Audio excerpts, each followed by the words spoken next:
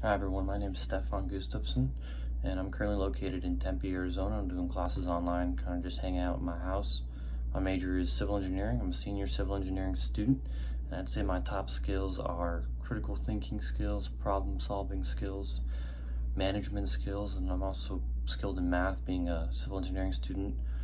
Um, my weaknesses is I usually put too much on my plate at once. I try to take on too much because uh, I always want to do as much as I possibly can. Passions. I say my passions are I really like design.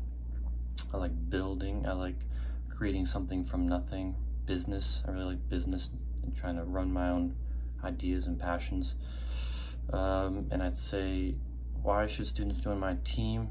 It's because I always try to do the best I can I can do on whatever it is and try to get the best outcome for whatever whatever task is put in front of me and I will never stop until I get it. Um, but I do already have a full team, so I just want to make that known.